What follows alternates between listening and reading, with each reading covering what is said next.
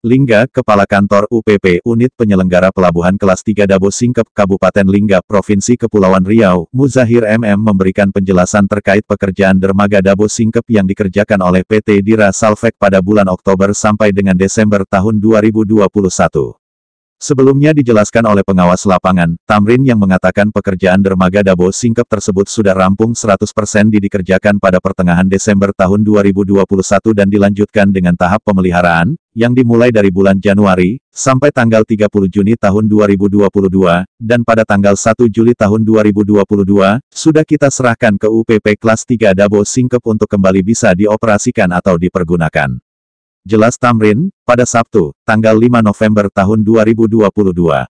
Hal itu dibenarkan oleh Muzahir MM saat dikonfirmasi awak media melalui sambungan telepon WhatsApp pada Minggu, tanggal 6 November tahun 2022, sekira pukul 20 waktu Indonesia Barat.